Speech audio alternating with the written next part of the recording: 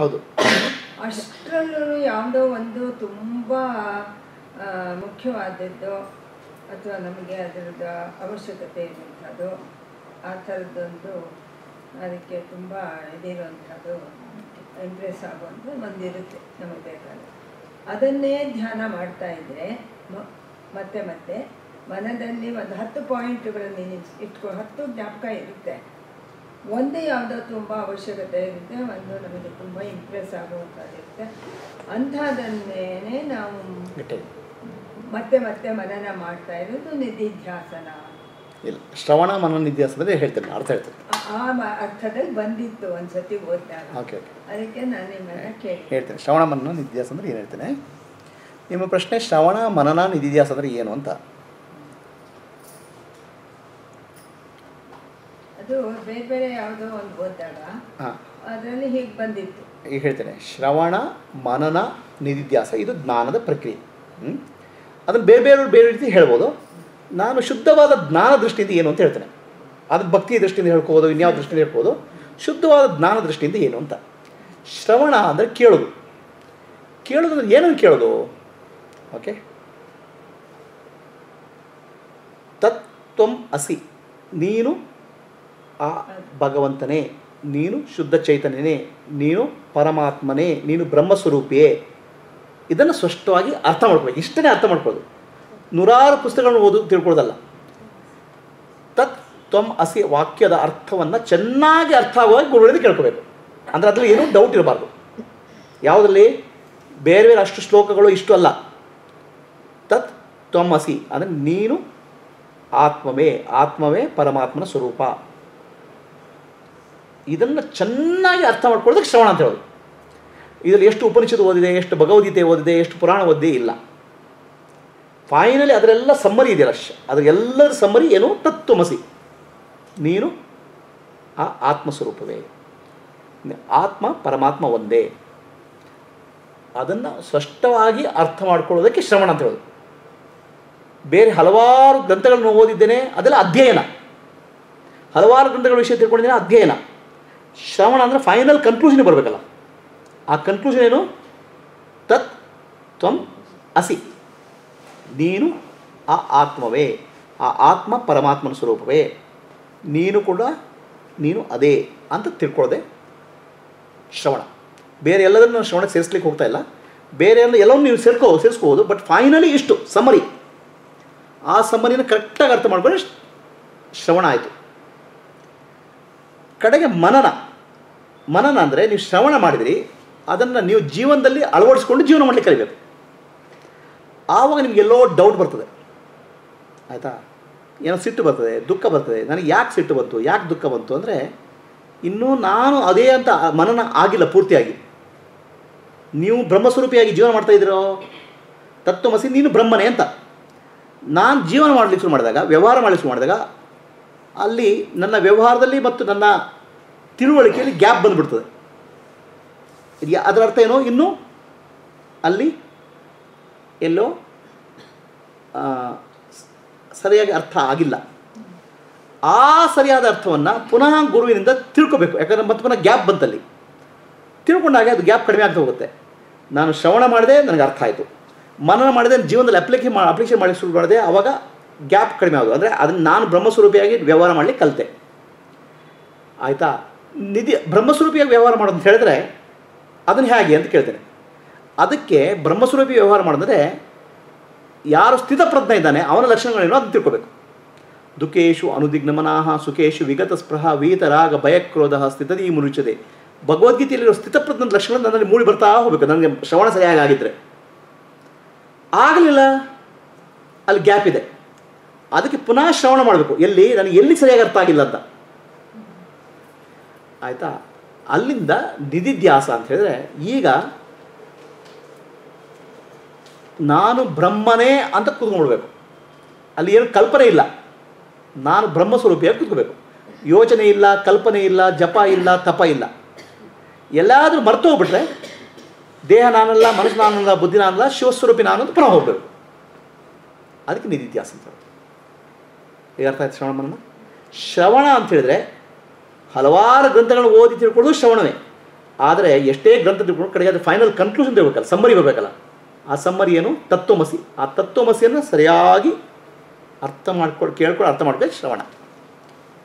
ಅದನ್ನು ಜೀವನದಲ್ಲಿ ಅಳವಡಿಸ್ಕೋಬೇಕು. ಹೇಗಾದ್ರೆ ನಾನು ಸ್ಥಿತಪ್ರಧಾನ ಲಕ್ಷಣಗಳು ನನ್ನಲ್ಲಿ ಮೂಡಿ ಬರ್ತಾ ಹೋಗಬೇಕು. ಅದಕ್ಕೆ ಮನನ.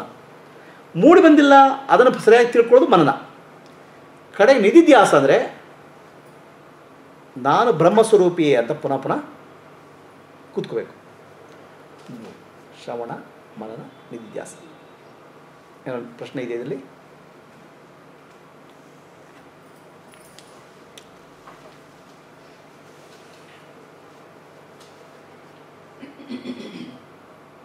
ಏನ್ರಿ ನೀವೇನು ಕೇಳ್ತಾ ಇಲ್ಲ? ಕೇಳ್ತಾ ಕೇಳ್ತಾ. ಹಾಂ. ಮನಸ್ಸು ಹಾಂ. ಸ್ಥಗಿತ ಆಗ್ತದೆ ಸ್ಥಗಿತ ಆಗ್ತದೆ ವೆರಿ ಗುಡ್ ಸ್ಥಗಿತ ಅಂದ್ರೆ ಅಬ್ಸರ್ವ್ ಆಗ್ತಾ ಇದೆ. ಅಂತ ಮನ್ಸು ಬರ್ತಾ ಇದೆ ಕೇಳಿ ಮನಸ್ಸು ಬರ್ತಾ ಇಲ್ಲ. ಅರ್ಥ ಆಯ್ತೇನಪ್ಪ ಎಲ್ರಿಗೂ? ಅವ್ರ ಪ್ರಶ್ನೆಗೆ ಉತ್ತರ ಉತ್ತರ ಪ್ರಶ್ನೆ ಕೇಳಿದಕ್ಕೆ ಆಯಿತಾ?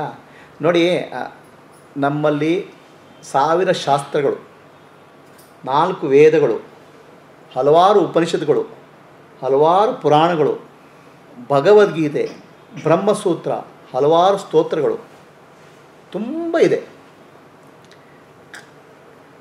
ಅಷ್ಟೆಲ್ಲ ಸ್ವಲ್ಪ ಸ್ವಲ್ಪ ಪ್ರಯತ್ನ ಮಾಡ್ತಾ ಇರ್ತೇವೆ. ಕಡೆಗೆ ನಾವು ಎಲ್ಲದರಲ್ಲೂ ಕೈ ಹಾಕ್ಲಿಕ್ಕೆ ಆಗಲ್ಲ. ಫೈನಲಿ ಇದರ ಸಮ್ಮರಿ ಏನಪ್ಪ ಅಂತ ಕೇಳಬೇಕು. ಅಂದರೆ ಇದರ ಇಷ್ಟೆಲ್ಲ ಇದೆಯಲ್ಲ ಸ್ವಾಮಿ? ಇದು ಸಾರಾಂಶ ಏನು ಅಂತ. ಆ ಸಾರಾಂಶವನ್ನು ಮೂರು ಶಬ್ದಗಳು ಹೇಳಿ ತತ್ವಂ ಅಸಿ ಅಂತ. ನೀನು ಶಿವಸ್ವರೂಪಿಯಪ್ಪ ಅಂತ. ಮುಗೀತು. ಅದಕ್ಕೆ ನೀವು ಶಿವಮ್ಮ ಅಂತ ಹೆಸರು ತೊಗೊಂಡಿದ್ರ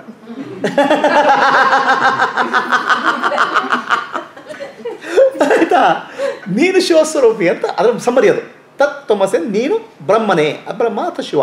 ನೀನು ಬ್ರಹ್ಮನೇ ಅಂತ ಆಯಿತು ಮೂರು ಮೂರು ವಾಕ್ಯಗಳು ಹೇಳಿದ್ರು. ಇದನ್ನು ನಾನು ಸ್ವಲ್ಪ ಎಕ್ಸ್ಪ್ಲೈನ್ ಮಾಡಿ ಹೇಳಿದೆ ಅದು ಮೂರಕ್ಕೆ. ನಾನು ನಾನೆಂಬುದು ನಾನಲ್ಲ, ಈ ದೇಹ ಮನ ಬುದ್ಧಿ ನಾನಲ್ಲ ಸಚಿದಾನಂದ ಆತ್ಮ ಶಿವನಾನು ನಾನೇ. ಶಿವೋಹಂ ಅಂತ. ಇದು ಸಾರಾಂಶ. ನಮಗೆ ಅಷ್ಟೆಲ್ಲ ಓದೋಕ್ಕಾಗಲ್ಲ ಸ್ವಾಮಿ, ವೇದಗಳು ಬರಲ್ಲ, ಉಪನಿಷತ್ತುಗಳು ಬರಲ್ಲ. ಹಾಂ ಅಷ್ಟೆಲ್ಲ ಆಯ್ತಪ್ಪ. ನಿನಗೆ ತಿಳಿಬೇಕಂತ ಮನಸ್ಸಿದೆಯಾ ಈ ಸಾರಾಂಶನ ಚೆನ್ನಾಗಿ ತಿಳ್ಕೊ. ಸಾರಾಂಶವನ್ನು ಚೆನ್ನಾಗಿ ಅರ್ಥ ಮಾಡ್ಕೊ.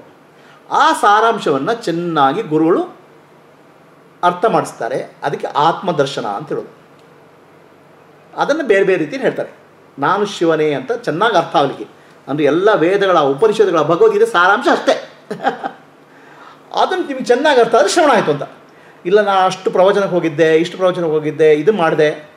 ಒಳ್ಳೆ ಸ್ವಾಮಿ, ನಿಮ್ಗೆ ಸಾರಾಂಶ ಅರ್ಥ ಆಯ್ತಾ? ಅರ್ಥ ಆಗಿಲ್ಲ. ಸಾರಾಂಶ ಅರ್ಥ ಆದರೆ ನಿಮ್ಗೆ ಅದೆಲ್ಲ ಅರ್ಥ ಆದಾಗೆ ಆಯಿತಾ? ಆ ಸಾರಾಂಶವನ್ನು ಚೆನ್ನಾಗಿ ಗುರುಗಳಿಂದ ಸರಿಯಾಗಿ ತಿಳ್ಕೊಳ್ಳೋದಕ್ಕೆ ಆತ್ಮದರ್ಶನ ಅಂತ ಆಯಿತಾ? ಅದನ್ನು ಅದನ್ನು ಕೇಳ್ತಿರಲ್ಲ ಆ ಪ್ರವಚನ ಕೇಳಿದೆ, ಈ ಉಪನಿಷ ಕೇಳಿದೆ, ಅವೆಲ್ಲ ಪ್ರವಚನ ಕೇಳಿದಿರಿ. ಅವರುಗಳಿಗೆ ಗುರು ಅಂತ ಹೇಳೋದು ಅಥವಾ ಪಂಡಿತರು ಅಂತ ಹೇಳೋದು ಫೈನಲಿ ಆತ್ಮಜ್ಞಾನ ಕೊಡೋರಿಗೆ ಸದ್ಗುರು ಅಂತ ಹೇಳೋದು ಆತ್ಮಜ್ಞಾನ ಕೊಡೋರು ಅವ್ರಿಗೆಲ್ಲ ಅದ್ರ ಮೇಲೆಲ್ಲ ಕಾನ್ಸಂಟ್ರೇಟ್ ಮಾಡಕ್ಕೆ ಹೋಗಲ್ಲ. ಅವೆಲ್ಲ ಪ್ರೈಮರಿ ಸ್ಕೂಲ್ ಮಿಡ್ಲ್ ಸ್ಕೂಲ್ ಆಯಿತು. ಫೈನಲಿ ಸಮ್ಮರಿ ಏನು? ನಾನು ಶಿವಸ್ವರೂಪ ಅಂತ ನಿಮಗೆ ದೃಢವಾಗಿ ತಿಳ್ಕೋಬೇಕು. ಅದಕ್ಕೆ ಸದ್ಗುರುಗಳು. ಅದು ಶ್ರವಣ. ಒಂದ್ಸಲ ಸದ್ಗುರು ಕ್ಲಾಸಲ್ಲಿ ಕೂತ್ಕೊಂಡ್ರೆ ಗಟ್ಟಿ ಆಯಿತು. ಓ ಇದು ನಾನು ಶಿವನೇ ಅಂತ. ಆಯ್ತಾ, ಮನೆಗೆ ಹೋಗ್ಬೇಳೆ, ಗಂಡ ಬಂದ್ಕೊಳ್ಳೆ ನಾನು ಹೆಂಡತಿ ಅಂತ ಆ ಶಿವ ಹೋಯ್ತು. ಅದು ನಿಮ್ಮ ಜೀವನದಲ್ಲಿ ಇನ್ನೂ ಇಳಿದಿಲ್ಲ. ಆಯ್ತಾ? ಶಿವ, ಏನೋ ಮಾಡ್ಕೊಂಡು ಸಿಟ್ಟು ಬಂತು. ಅಯ್ಯೋ, ರಾಮ, ಈ ಶಿವನಿಗೆ ಯಾಕೆ ಸಿಟ್ಟು ಬರ್ತಪ್ಪ? ಆಯ್ತಾ? ಅದು ಶಿವ ಗಟ್ಟಿಯಾಗಿ ಇಳಿದಿಲ್ಲ ಇನ್ನು. ಅರ್ಥ ಆಯಿತು, ಇಳಿದಿಲ್ಲ. ಆ ಶಿವ ಗಟ್ಟಿಯಾಗಿ ಜೀವನದಲ್ಲಿ ನಿಮ್ಮ ಜೀವನದಲ್ಲಿ ಹೇಳಿದಾಗ ಏನಾಗುತ್ತೆ? ನಿಮಗೆ ಒಬ್ಬ ಅದಕ್ಕೆ ಏನು ಹೇಳ್ತಾರೆ? ಸ್ಥಿತಪ್ರಜ್ಞನ ಲಕ್ಷಣಗಳು ಹೇಳ್ತಾರೆ. ಅವಾಗ ಏನಾಗುತ್ತೆ ನಿಮ್ಮ ಜೀವನದಲ್ಲಿ ಅಂತ ಹೇಳಿ ಲಕ್ಷಣ ಹೇಳ್ತಾರೆ ಭಗವದ್ಗೀತೆಯಲ್ಲಿ ದುಃಖೇಶು ಅನುದಿಗ್ನಮನಾಹ ಸುಖೇಶು ವಿಗತ ಸ್ಪೃಹ ವೀತರಾಗ ಭಯಕ್ರೋಧ ಸ್ಥಿತದಿ ಮುನಿರುಚಿ ದುಃಖ ಬಂದಾಗ ಕುಗ್ಗುವುದಿಲ್ಲ, ಸುಖ ಬಂದಾಗ ಹಿಗ್ಗುವುದಿಲ್ಲ, ರಾಗ ದ್ವೇಷಗಳು ಏನಾಗಿಲ್ಲ ಭಯಕ್ರೋಧಗಳು ಏನಾಗಿಲ್ಲ ಅಂತ ಸ್ಥಿತಪ್ರಜ್ಞ ನಾನು ಅಂತ. ಯಾವೆಲ್ಲ ಹೋಗ್ಬಿಡ್ತವೆ ಏನೋ ನಿಮ್ಮ ಎಲ್ಲ ಮನಸ್ಸಿನ ವಿಕಾರಗಳು ಹೋಗ್ತವೆ ಹೋಗಿಲ್ಲ ಅಂತ ಹೇಳಿದ್ರೆ ಇನ್ನು ಮನನ ಗಟ್ಟಿಯಾಗಿಲ್ಲ. ಈಗ ಪುನಃ ಗುರುಗಳ ಹತ್ರ ಹೋಗ್ಬೇಕು. ಓಕೆ ಪುನಃ ಶ್ರವಣ ಮಾಡ್ಕೋಬೇಕು. ಇನ್ನು ನಾನು ಶಿವ ಅಂತ ಗಟ್ಟಿಯಾಗಿ ಮಾಡ್ಕೋಬೇಕು. ಆಯ್ತಾ, ಶಿವಪ್ಪನೋ, ಶಿವಮ್ಮನೋ ಅಂತ ಗಟ್ಟಿಯಾಗಬೇಕು. ಆಮೇಲೆ ನಿಧಾನವಾಗಿ ಗತಿ ಎಲ್ಲ ಮನಸ್ಸಿನ ವಿಕಾರಗಳು ಕಡಿಮೆ ಆಗ್ತವೆ. ಮನಸ್ಸು ಶಾಂತ ಆಗ್ತದೆ. ಆಯಿತಾ? ಶಾಂತ ಆದಾಗ ಸಾಧ್ಯವಾದಷ್ಟು ನಾನು ಶಿವಸ್ವರೂಪಿ ಅಂತ ಕೂತ್ಕೋಬೇಕು. ಆವಾಗ ಹಲವಾರು ಯೋಚನೆಗಳು ಬರ್ತವೆ. ಈ ಯೋಚನೆ ನನಗಲ್ಲ. ಇದೆಲ್ಲ ಸಮಾಜದ ಮಗುವಿಗೆ. ಅಂತ ಬಿಡಬೇಕು. ಕೈಕಾಲು ನೋವಿದೆ ಅದು ಅಪ್ಪ ಅಮ್ಮನ ಮಗುವಿಗೆ. ನಾನು ಭಗವಂತನ ಮಗ ಶಿವಸ್ವರೂಪ ಶಿವೋಹಂ ಶಿವೋಹಂ. ದೇಹ ನಾನಲ್ಲ ಮನಸ್ಸು ನಾನಲ್ಲ ಬುದ್ಧಿ ನಾನಲ್ಲ ಶಿವಸ್ವರೂಪಿ ನಾನು ಅಂತ ಕೂತ್ಕೊಳ್ತಾ ಇದ್ದಾಗೆ ಎಲ್ಲ ಯೋಜನೆಗಳ ಕಳಗಿ ನೀವು ಶಾಂತವಾಗಿ ಶಿವಸ್ವರೂಪ ಆಗ್ಬಿಡ್ತೀರ. ಅದಕ್ಕೆ ನಿಧಿಧ್ಯಾಸ ಅಂತ ಹೇಳೋದು. ಶ್ರವಣ ಮನನ ನಿಧಿಧ್ಯಾಸ. ಅರ್ಥ ಆಯ್ತಾ? ಗುರುಜಿ ಈ ನಿರ್ವಹಣೆ ಅಂತ ಒಂದು ಏನು ಬರ್ತದೆ ನಿರ್ವಹಣೆ ಅಂದರೆ ಮೇಂಟೆನೆನ್ಸ್ ಮೇಂಟೆನೆನ್ಸ್ ಫಾರ್ ಎಕ್ಸಾಂಪಲ್ ನಾನು ನಿಮ್ಮ ಹತ್ರ ಮಾತಾಡಬೇಕು. ಏನೋ ಕಾರಣಕ್ಕೋಸ್ಕರ ಏನೋ ವಿಷಯ ಬರುತ್ತೆ ಸ್ವಲ್ಪ ಕೋಪ ಬಂದ್ಬಿಡ್ತದೆ ಹೌದು. ಅದು ನಿರ್ವಹಣೆಯಲ್ಲಿ ಉಂಟಾದಂಥ ಲೋಪ. ಹೌದು. ಈ ತತ್ವದ ಆಧಾರದ ಮೇಲೆ ಹೋದರೆ ಕೋಪನೇ ಬರಬಾರ್ದು. ದ್ವೇಷಗಳು ಇರಬಾರ್ದು. ಅಲ್ಲಲ್ಲ ಇಲ್ಲಿ ನೀವು ತಪ್ಪು ಕೋಪ ಬರಬಹುದು. ನನಗೆ ಕೋಪ ಬಂತ ಅಂತ ಪ್ರಶ್ನೆ.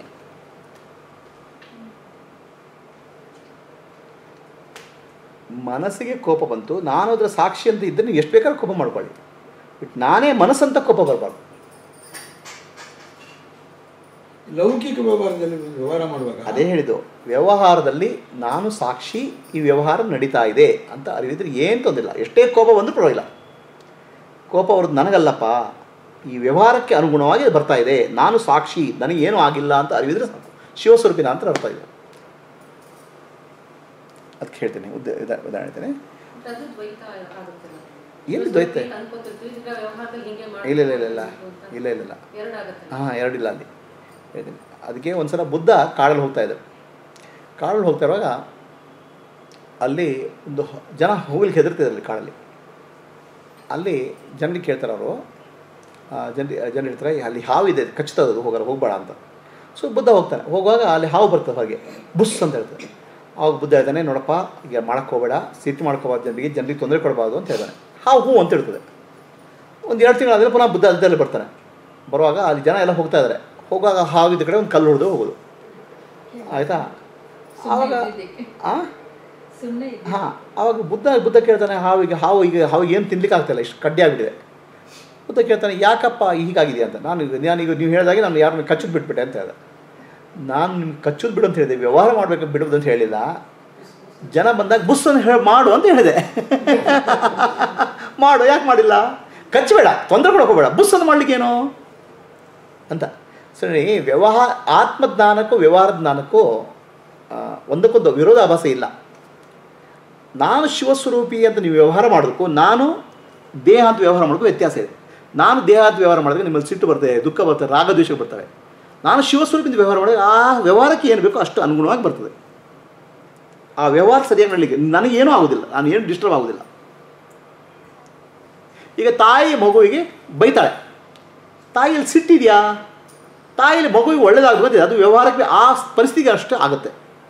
ಸೊ ತಾಯಿಗೂ ಸಿಟ್ಟು ಬಂದ್ಬಿಟ್ರೆ ಎಂಥ ದರಿದ್ರದ ಮಗು ಅಂತ ಸಿಟ್ಟು ಬಂದ್ಬಿಟ್ರೆ ಅಲ್ಲಿ ಏನಾಯಿತು? ಡಿಸ್ಟರ್ಬ್ ಆಯಿತು. ತಾಯಿ ಮಗುವಿನ ಸಿಟ್ಟು ಮಾಡಿಕೊಂಡಾಗ ಆ ಪರಿಸ್ಥಿತಿಗೆ ಮಗುವಿನ ಮೇಲೆ ಸಿಟ್ಟು ತೋರಿಸ್ತಾಳೆ, ಆದರೆ ಮಗುವಿನ ಮೇಲೆ ಸಿಟ್ಟಿಲ್ಲ, ಮಗುವಿನ ಮೇಲೆ ಪ್ರೇಮ ಇದೆ.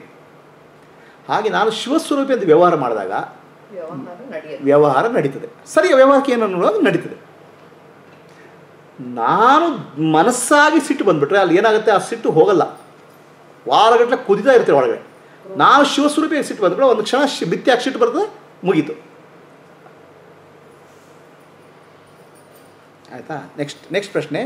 ದ್ವೈತ ಬಂತ ಅಂತ. ಅಂದರೆ ನಾನು ಬೇರೆ, ವ್ಯವಹಾರ ಬೇರೆ ಅಂತ. ದ್ವೈತ ಇಲ್ಲವೇ ಇಲ್ಲ.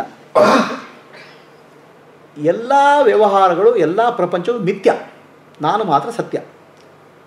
ಸತ್ಯ ಮತ್ತು ಮಿಥ್ಯ ದ್ವೈತ ಇಲ್ಲ ಅಲ್ಲಿ. ಉದಾಹರಣೆಗೆ ನಾನು ಇದ್ದೇನೆ, ನನ್ನ ನೆರಳು ಇದೆ. ನೆರಳು ನನಗೆ ದ್ವೈತ ನನ್ನ ನೆರಳು ನನಗೆ ದ್ವೈತ ಕೊಟ್ಟಿಲ್ಲ ಅದು. ನೆರಳು ನನ್ನ ಇರುವಿಕೆಯ ಅಸ್ತಿ, ಅಸ್ತಿತ್ವ ಇಲ್ಲ ಅಲ್ಲಿ. ಕತ್ತಲೆ. ಅಂದರೆ ಬೆಳಕಿಲ್ಲ ಅಲ್ಲಿ. ನೆರಳು ಅಂದರೆ ಬೆಳಕಿಲ್ಲ. ಮಿಥ್ಯ ಅನ್ನೋದು ಅರಿವಿಲ್ಲದಿದ್ದಾಗ ಮಿಥ್ಯ. ಆಯಿತಾ? ಅದು ಕತ್ತಲೆ ಇದ್ದ ಹಾಗೆ. ನಾನೊಂದು ಸತ್ಯ, ಬೆಳಕು ಅಥವಾ ಬೆಳಕು. ಬೆಳಕಿಗೂ ಕತ್ಯಕ್ಕೂ ಮಿಥ್ಯಕ್ಕೂ ದ್ವೈತ ಇಲ್ಲ. ದ್ವೈತ ನಿಮ್ಗೆ ಯಾವಾಗ ಬಂತು? ನಾನು ಮರ್ತೋಯ್ತು, ದೇಹ ನಾನು ಅಂತ. ಯಾವಾಗ ದ್ವೈತ ಬಂದ್ಬಿಡ್ತು. ಆವಾಗ ದ್ವ, ಆ ಮಿಥ್ಯ ಅನ್ನೋದು ಸತ್ಯ ಆಯಿತು. ಆವಾಗ ಮಿಥ್ಯದಲ್ಲಿ ಎಲ್ಲ ಸೇರ್ತದೆ. ನಾನು ಸತ್ಯ, ಪ್ರಪಂಚ ಮಿಥ್ಯ, ಬ್ರಹ್ಮ ಸತ್ಯ, ಜಗನ್ ಮಿಥ್ಯ ಅಂತ ಗೊತ್ತಾಗ್ತಾ ಆದಾಗ ಅಲ್ಲಿ ದ್ವೈತ ಇಲ್ಲ. ಅದು ಅದ್ವೈತ ಇದೆ. ಮಿಥ್ಯ ವ್ಯವಹಾರ, ಈಗ ಮಿಥ್ಯ ನೀವು ಭಾಳ ಭಾಳ ಕಷ್ಟಪಟ್ಟು ಕಾಂಪ್ಲಿಕೇಟ್ ತಿಳ್ಕೊಳ್ಬೇಡಿ ಇದು ಮಿಥ್ಯ ಅಂದರೆ ಒಂದು ಸಿನಿಮಾ ಇದ್ದಾಗೆ. ಎಂಥ ತ್ರೀ ಡಿ ಸಿನಿಮಾ ಇದ್ದಾಗೆ. ಅಲ್ಲಿ ಬೊಂಬೆಗಳಿದ್ದಾವೆ, ಮಾತಾಡ್ದಾಗ ಕಾಣುತ್ತೆ. ನಾನು ಅದರಲ್ಲಿ ಇನ್ವಾಲ್ವ್ ಆಗಿಬಿಟ್ರೆ ನನಗೆ ಕಣ್ಣಲ್ಲಿ ನೀರು ಬರ್ಬೋದು, ದುಃಖ ಆಗ್ಬೋದು. ಆಯಿತಾ? ಅದು ಸಂಸಾರ. ನಾ, ಇದು ಸಿನಿಮಾ ಅಂತ ಗೊತ್ತಾಗಿ ನೋಡಿದಾಗ ಅದು ಎಂಜಾಯ್ ಮಾಡ್ತೀರಾ? ಇದು ಇದು ಮಿಥ್ಯ ಅಂತ ಕಾಣುತ್ತೆ ಅಷ್ಟೇ. ನೀವು ಸತ್ಯ ಆತ್ಮಜ್ಞಾನ ಬಂದ ಪ್ರಪಂಚ ಮಾಯ ಆಗೋದಿಲ್ಲ ಪ್ರಪಂಚ ಏನೂ ಆಗೋದಿಲ್ಲ. ಅದು ಇರ್ತದೆ ಮಿಥ್ಯಾ ಪ್ರಪಂಚ ಹೆಚ್ಚು ಕಡಿಮೆ ಸಿನಿಮಾ ಇದ್ದಾಗ ಇರ್ತದೆ. ಆ ಸಿನಿಮಾದಲ್ಲಿ ಏನು ವ್ಯವಹಾರ ಮಾಡಬೇಕು ಮಾಡ್ತೀರಾ? ಅಷ್ಟೇ. ಹಾಂ ಹಾಂ ಕಮ್ಮಿ ಆಗುತ್ತೆ. ಈಗ ನಿಮಗೆ ಕನಸಿನಲ್ಲಿ ಹುಲಿ ಬಂದು ಓಡಿಸ್ತಾ ಇರ್ತದೆ. ಆಯಿತಾ ಹುಲಿ ಓಡಿಸ್ತಾ ಇರುವಾಗ ಇದು ಕನಸಿನ ಹುಲಿ ಅಂತ ನಿಮ್ಗೆ ಗೊತ್ತಾದ್ರೆ ನೀವು ಓಡ್ಬೋದು ಬಟ್ ನಿಮ್ಗೆ ಹೆದರಿಕೆ ಕಡಿಮೆ ಆಗುತ್ತೆ. ಅಷ್ಟೇ. ಸಿನಿಮಾದಲ್ಲಿ ಇನ್ವಾಲ್ವ್ ಆಗಿಬಿಟ್ಟಿರ್ತೀರ? ಇನ್ವಾಲ್ವ್ ಆದಾಗ ಅಲ್ಲಿ ಏನೋ ಹೀರೋ ಹೀರೋ, ಹೀರೋಯಿನ್ ಬಿಟ್ಟು ಹೋಗ್ತಾಳೆ, ಅವಳು ಗೊಳೋ ಅಂತ ಅಳ್ಳಿಸ್ ಮಾಡ್ತಾರೆ ಅವಳು ನೋಡಿ, ಅವಳು ಕಣ್ಣೀರು ನೋಡಿ ನಿಮಗೂ ನಿಮ್ಮ ನೆನಪಾಗುತ್ತೆ. ಅಯ್ಯೋ, ನಾನು ಹೀಗೆ ಇದ್ನಲ್ಲಪ್ಪ ಅಂತ ಕಣ್ಣಲ್ಲಿ ನೀರು ಬರಲಿಕ್ಕೆ ಶುರು ಆಗುತ್ತೆ ಅದು ಓ, ಇದು ಸಿನಿಮಾ ಅಂತ. ಅವಾಗ ಹೊರ ಬರ್ತೀರ. ಅದೇ ರೀತಿ ಇದು ಸಿನಿಮಾ ಅಂತ ಹೊರ ಬರ್ಬೇಕು ಅಷ್ಟೇ. ಇನ್ನೇನಿಲ್ಲ. ಇದು ಹೇಗೆ, ನೀವು ಇನ್ವಾಲ್ವ್ಮೆಂಟ್ ಇದೆಯಲ್ಲ, ಅದು ಭಾಳ ಇನ್ವಾಲ್ವ್ ಆಗ್ಬಿಡ್ತೀರ. ಅದರಲ್ಲಿ ಮಗ್ನ ಆಗ್ಬಿಡ್ತೀರ. ಹೊರಬರ್ಬೇಕು ಇದನ್ನು ನಾನು ಇದು ಟಿ ವಿ ಎಕ್ಸಾಂಪಲ್ ಇದನ್ನು ಕ್ರಿಕೆಟ್ ಎಕ್ಸಾಂಪಲ್ ಎರಡು ಎರಡು ಕಮ್, ಎರಡು ಕ್ರಿಕೆಟ್ ಮ್ಯಾಚ್ ನಡೀತಾ ಇದೆ. ಇಂಡಿಯಾ ಪಾಕಿಸ್ತಾನ ಎಲ್ಲ ಬಾಯ್ ಬಾಯ್ ಬಿಟ್ಟು ನೋಡೋದು ಯಾರು ವಿನ್ ಅಂತ. ಲಾಸ್ಟ್ ಓವರ್ ಇದೆ. ಅವ್ನು ಪಾಕಿಸ್ತಾನ ಸಿಕ್ಸರ್ ಹೊಡ್ಬಿಡ್ತಾನೆ ಇಂಡಿಯಾ ಟೀಮ್ ಹೋ ಸತ್ ಇದಾಗ್ಬಿಡುತ್ತೆ ಇವನಿಗೆ ಹಾರ್ಟ್ ಅಟ್ಯಾಕ್ ಆಗ್ಬಿಡುತ್ತೆ ನೋಡ್ತಾ ಇರೋನಿಗೆ ಆಯಿತಾ? ಆ ಪಾಕಿಸ್ತಾನ ಕ್ರಿಕೆಟ್ನವ್ರಿಗೆ ಅವರಿಗೆ ಐವತ್ತು ಐವತ್ತು ಕೋಟಿ ದುಡ್ಡು ಸಿಕ್ತು. ಯಾಕಂದ್ರೆ ವಿನ್ ಆದರು. ಇಂಡಿಯಾ ಕ್ರಿಕೆಟ್ ಟೀಮಿನವರಿಗೆ ಇಪ್ಪತ್ತೈದು ಕೋಟಿ ದುಡ್ಡು ಸಿಕ್ತು. ಅವರು ಸೋತೋಗ್ಬಿಟ್ರು. ಅವ್ರು ಟೆಲಿವಿಷನ್ನವರಿಗೆ ಐನೂರು ಕೋಟಿ ರೂಪಾಯಿ ಸಿಕ್ತು. ಇವನಿಗೆ ಹಾರ್ಟ್ ಅಟ್ಯಾಕ್ ಆಯಿತು. ಈ ಸಿನಿಮಾದಲ್ಲಿ ನೀವು ಯಾಕೆ ಇನ್ವಾಲ್ವ್ ಆಗ್ಬಿಟ್ರಿ? ಇದನ್ನು ನೋಡಿ ಎಂಜಾಯ್ ಮಾಡಿಬಿಟ್ಟು. ಅದೇ ರೀತಿ ಪ್ರಪಂಚ, ಗಂಡ, ಹೆಂಡತಿ, ಸಂಸಾರ ಇದೆಯಲ್ಲ, ಒಂಥರ ಸಿನಿಮಾ. ಅದರಲ್ಲಿ ನೀವು ಯಾಕೆ ಇನ್ವಾಲ್ವ್ ಆಗಿ ಒದ್ದಾಡ್ತೀರ? ಅದನ್ನು ಸಿನಿಮಾ ಅಂತ ಅರ್ಥ ಮಾಡಿಕೊಂಡು ಆ ಸಿನಿಮಾದ ವ್ಯವಹಾರ ಮಾಡಿ.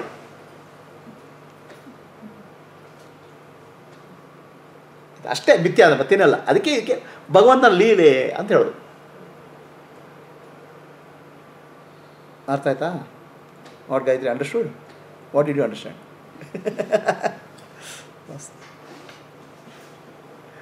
See, this is exactly a 3D movie or 7D movie. Why are you getting stressed out? Guruji ಒಂದು ಸೂಕ್ಷ್ಮ ವಿಷಯ. ಪರ್ಸನೈಸ್ ಮಾಡಕ್ ಹೋಗ್ಬೇಡಿ. ಅವ್ರದ್ದು ಎಕ್ಸಾಂಪಲ್ ತಗೊಂಡು ನಿಮ್ಮ ಮೂವರು ಇದರಲ್ಲಿ. ಇದ್ದಾರೆ. ಪ್ರೇಕ್ಷಕರು. ಇವರು ಪ್ರತಿ ನಿಮ್ಮ ಕ್ಲಾಸಲ್ಲಿ ಇವರು ಇರ್ತಾರೆ. ಹೌದು. ಅವ್ರ ಪಾತ್ರ ಏನೋ? ಅದು ಮೇಂಟೈನ್ ಮಾಡೋದು ಅಷ್ಟೇನೆ. ಹಾಂ. ಅದು ಸಾರ ಹೋಗ್ತಾ ಇದೆ ಇಲ್ವೋ ಅಂತ ನಂಗೆ ಇವರು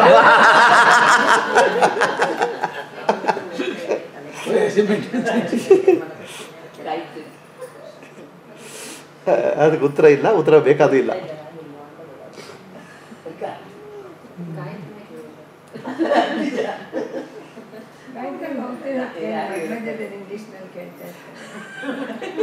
ಇಲ್ಲಿ ಈ ಕ್ಲಾಸಲ್ಲಿ ಯಾರು ಬೇರೆಯವ್ರ ಬಗ್ಗೆ ಕೇಳೋ ಹಾಗಿಲ್ಲ. ನನಗೆ ಏನಾಯಿತು ಅರ್ಥ ಆಯಿತು ಅಷ್ಟೇ. ನೀವು ನಿಮ್ಮ ಹೆಂಡತಿಯನ್ನು ಕರ್ಕೊಂಬಂದಿರಾ ಡ್ರೈವ್ ಮಾಡ್ಕೊಂಬಂದಿರ ನಿನಗೆ ಅರ್ಥ ಆಯಿತು ಕೇಳೋ ಹಾಗಿಲ್ಲ. ಕೆತ್ತಿ ಕೇಳಿದ್ರೆ ಒದೆ ಬೀಳ್ತದೆ. ಅವ್ರು ಬೇರೆ ಶಿವಮ್ಮ ಬೇರೆ. ಶಿವನೇ ಆದ್ರೆ ನಾನು ಕೇಳ್ತೀಯ ಅಂತ ಸಿಟ್ಟು ಮಾಡ್ಕೊಡ್ತಾರೆ ಸೊ ನನಗೆ ಎಷ್ಟು ಪ್ರಾಪ್ತಿ ಆಗುತ್ತೆ ಅಷ್ಟೇ. ಬೇರೆಯವರು ಆ? ಕುದುರೆ ಕುದುರೆ ನೀನು ತೊಗೊಂಡ್ಬಿಟ್ಟು. ಹಾ. ಅಷ್ಟೇ. ಹಾ, ನೀವು ಅದು ಕುರಿದ ಪ್ರಶ್ನೆ ಇಲ್ಲ ಇಲ್ಲಿ. ಇಲ್ಲಿ ಪ್ರತಿಯೊಬ್ಬರಿಗೂ ಅವರವರ ಅವರವ್ರಿಗೆ ಎಷ್ಟು ಬೇಕೋ ಅಷ್ಟು ಅಬ್ಸರ್ವ್ ಆಗುತ್ತೆ. ಅವರಿಗೆ ಎಷ್ಟು ಯಾರಿಗೆ ಎಷ್ಟಾಗಿದೆ ಅದು ನಮಗೆ ಸಂಬಂಧಪಟ್ಟಿಲ್ಲ. ನನಗೆ ಎಷ್ಟು ಬೇಕು? ಓಕೆ. ನನಗೆ ಹೊಟ್ಟೆ ತುಂಬ್ತಾ? ತುಂಬಿತು. ನನಗೆ ಹೊಟ್ಟೆ ತುಂಬಿಲ್ಲ? ತುಂಬಿಲ್ಲ. ಹೊಟ್ಟೆ ತುಂಬಿಲ್ಲ class senior senior class okay Guruji no no more okay ಮುಂದಕ್ಕೆ ಹೋಗೋಣ?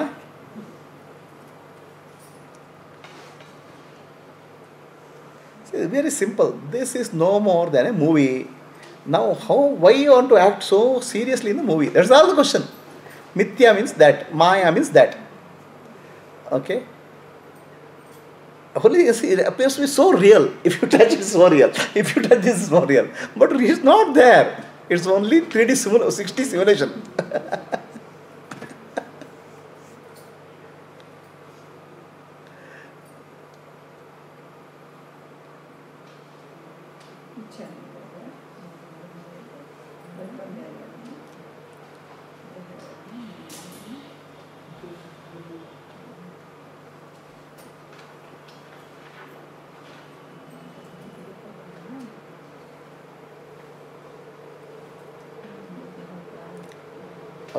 Next okay ಈ ಆತ್ಮಜ್ಞಾನದ ಏನಂತ ತಿಳ್ಕೊಂಡಿದ್ದೀರಪ್ಪ? ಆತ್ಮಜ್ಞಾನ ಅಂದರೆ ಭಾಳ ಕಾಂಪ್ಲಿಕೇಟ್ ಮಾಡೋಗತ್ತೆ ಇಲ್ಲ. ನಾಟ್ ತುಂಬ ಕಾಂಪ್ಲಿಕೇಟ್ ಮಾಡ್ಕೊ ಹೋಗ್ಬೇಡಿ. ಮನಸ್ಸಿನ ಯೋಚನೆಗಳು ಬೇರೆ, ನಾನು ಬೇರೆ. ಮನಸ್ಸಿನ ಯೋಚನೆಗಳಲ್ಲಿ ಮಿಥ್ಯ? ನಾನು ಬೇರೆ. ನಾನು ಸಾಕ್ಷಿ. ನೋಡೋನು ಇದನ್ನು ಸಪ್ರೇಟ್ ಮಾಡ್ತಾ ಹೋಗ್ಬೇಕಷ್ಟೆ. ಹಾಂ ನಾನು ಸಾಕ್ಷಿ ಆಗಬೇಕು ಉದಾಹರಣೆಗೆ, ನಾನು ಆ ಬಲ್ಬ್ ನೋಡಿದೆ, ಬೆಳಕು ಕಾಣ್ತು.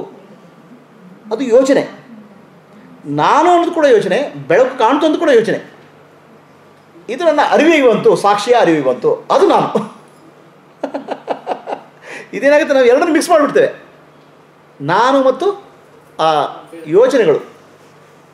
ನನ್ನ ಗಂಡನ ಮೇಲೆ ಸಿಟ್ಟು ಬಂತು. ಸರಿ. ಅದು ನಾನಲ್ಲ. ಅದು ಅರಿವಿಗೆ ಬಂದದ್ದು ನಾನು. ಅದು ಸಿಟ್ಟು ಬಂದದ್ದು ಮನಸ್ಸಿಗೆ.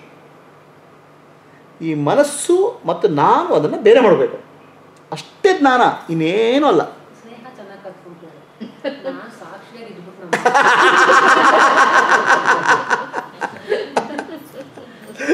ಅವ್ರು ಕಾಂಪ್ಲಿಕೇಟೆಡ್ ಯಾವ ಟಾಕ್ಸ್ಗೂ ಹೋಗೋದೇ ಇಲ್ಲ. ನಾನು ಸಾಕ್ಷಿ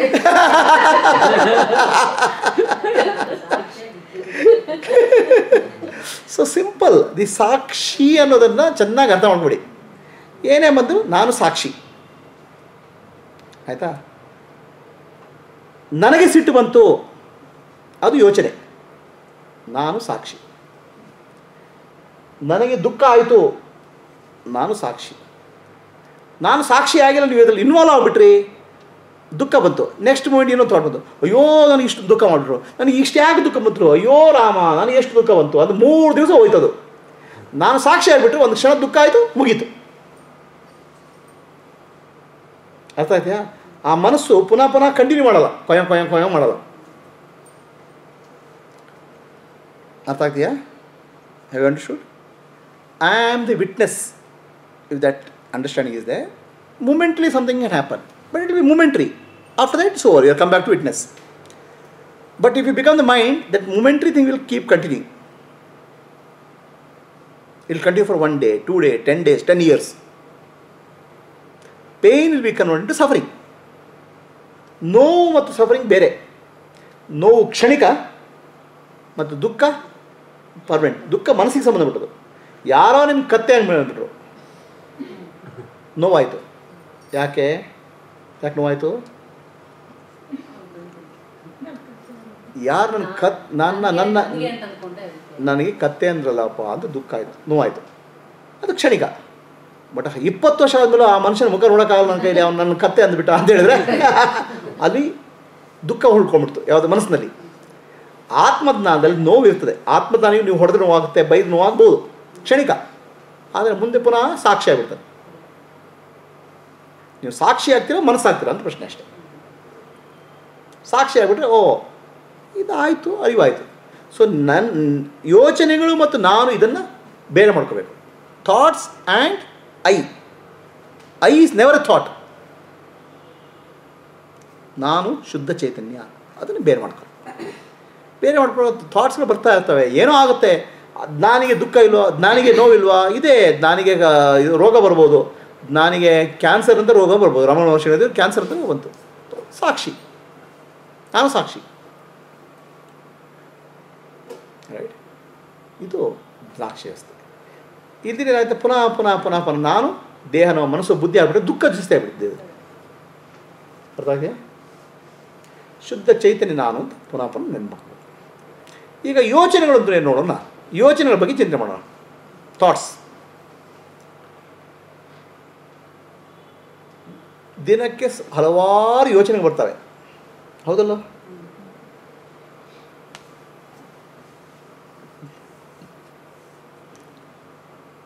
ಈ ಯೋಚನೆಗಳ ವಿಶೇಷ ಏನಂದರೆ, ನಮ್ಮ ಮನಸ್ಸಿಗೆ ಒಂದು ಒಂದು ಕ್ಷಣಕ್ಕೆ ಒಂದೇ ಯೋಚನೆ ಬರೋದು. ಅಂದರೆ ಮನಸ್ಸಲ್ಲಿ ಮನಸ್ಸಿನಲ್ಲಿ ಒಂದೇ ಒಂದು ವಿಚಾರ ಬರಲಿಕ್ಕೆ ಸಾಧ್ಯ, ಎರಡು ವಿಚಾರ ಒಟ್ಟಿಗೆ ಬರಲಿಕ್ಕೆ ಸಾಧ್ಯ ಇಲ್ಲ. ಅರ್ಥ ಆಯ್ತಾ? ಯೋಚನೆಗಳು ಯಾವಾಗಲೂ ಬರೋದು? ಒಂದು. Only one thought can come at a time two thoughts cannot come right ಎರಡು ಬರೋಕ್ಕೆ ಸಾಧ್ಯ ಇಲ್ಲ. ಒಂದಾದ್ಮೇಲೆ ಒಂದು ಬರ್ಬೋದು ಬಟ್ ಎರಡು ಒಟ್ಟಿಗೆ ಬರ್ಲಿಕ್ಕೆ ಸಾಧ್ಯ ಇಲ್ಲ. ಮನಸ್ಸಿಗೆ ಒಂದೇ ಒಂದು ಯೋಚನೆ ಮಾಡಲಿಕ್ಕೆ ಸಾಧ್ಯ. ಅರ್ಥ ಆಯ್ತಾ? ಆ ಒಂದು ಯೋಚನೆ ಬರ್ತೇ ಹೋಗುತ್ತೆ. ಹೇಗೆ ಬರುತ್ತೆ ಹೇಗೆ ಹೋಗುತ್ತೆ? ಒಂದು ಸಮುದ್ರ ಒಂದು ಅಲೆ ಬಂದ ಹಾಗೆ ಒಂದು ಯೋಚನೆ ಬಂತು, ಹೋಯ್ತು. ಆಯಿತಾ? ಸಮುದ್ರದಲ್ಲಿ ಒಂದು ಯೋಜನೆ, ಒಂದು ಅಲೆ ಬಂತು, ಹೋಯ್ತು. ಇನ್ನೊಂದು ಅಲೆ ಬಂತು, ಹೋಯ್ತು. ಇದು ಹಿಂದಿನ ಅಲೆನೋ? ಹೊಸ ಅಲೆ. ಎರಡು ಅಲೆಗಳು ಸೇಮ್ ಅಲ್ಲ ಸಮುದ್ರದಲ್ಲಿ. ಒಂದು ಅಲೆ ಬಂತು, ಹೋಯಿತು. ಇನ್ನೊಂದು ಅಲೆ ಬಂತು, ಹೋಯಿತು. ಒಂದು thought came went away another thought came and went away they are not same thoughts ಒಂದು ಯೋಚನೆ ಬಂತು, ಹೋಯ್ತು. ಅದೇ ಯೋಚನೆ ಪುನಃ ಬಂತು. ಇದು ಹೊಸ ಯೋಚನೆ ಅದು. ಹೇಳಿ ಹಳೆ ಯೋಚನೆ ಅಲ್ಲ. ಆಯಿತಾ? ಅರ್ಥ ಆಯ್ತಾ? ಅದೇ ಯೋಚನೆ ಪುನಃ ಬಂತು. ಅದೇ ಯೋಚನೆ ಬಂದರೂ, ಅದು ಬಂದದ್ದು ಹೊಸ ಯೋಚನೆ ಹಳೆಯದಲ್ಲ ಆಯಿತಾ? ನಾನು ಹತ್ತು ದಿವಸದಿಂದ ಅದೇ ವಿಷಯ ಯೋಚನೆ ಮಾಡ್ತಾ ಇದ್ದೇನೆ ಅಂತ ಹೇಳ್ತಿಲ್ಲ. ಅದು ಒಂದು ಯೋಚನೆ ಮಾತ್ರ. ಅದು ಹೊಸ ಯೋಚನೆ. ಅರ್ಥ ಆಯ್ತಾ? ಕಡೆಗೆ ಈ ಯೋಚನೆಗಳ ವಿಶೇಷ ಏನಂದರೆ, ಒಂದು ಯೋಚನೆಗೆ ಇನ್ನೊಂದು ಯೋಚನೆಯ ಬಗ್ಗೆ ಗೊತ್ತಿಲ್ಲ. ಯಾಕಂದರೆ ಒಂದು ಅಲೆಗೆ ಇನ್ನೊಂದು ಅಲೆಯ ಬಗ್ಗೆ ಗೊತ್ತಿಲ್ಲ. ಆ ಅಲೆ ಬಂತು, ಹೋಯ್ತು. ಸೊ ಹಾಗೆ ನಾನು ಹತ್ತು ದಿವಸದಿಂದ ಯೋಚನೆ ಮಾಡ್ತೇನೆ ಅಂತ ಹೇಳೋ ಯೋಚನೆ ಮಾಡೋರು ಯಾರು? ಇವನಿಗೆ ಹಿಂದಿನ ಯೋಚನೆ ಗೊತ್ತಿಲ್ಲ ಇವನಿಗೆ. ಅರ್ಥ ಆಗ್ತೀಯಾ? ತುಂಬ ಯೋಚನೆ ಬರ್ತಾ ಇದ್ರೆ ಆ ವಿಷಯದ ಬಗ್ಗೆ ಅಂತ ಹೇಳ್ತೀರ? ಆಯ್ತಾ? ನಾನು ಹತ್ತು ದಿವಸದಿಂದ ಯೋಚನೆ ಮಾಡ್ತೇನೆ ಅಂತ. ಇದು ಒಂದು ಯೋಚನೆ, ಹೊಸ ಯೋಚನೆ. ಇದು ಹೊಸ ಅಲೆ. ಈ ಯೋಚನೆಗೆ ಆ ಹತ್ತು ದಿವಸ ಏನಾಯಿತು ಅಂತ ಗೊತ್ತೇ ಇಲ್ಲ.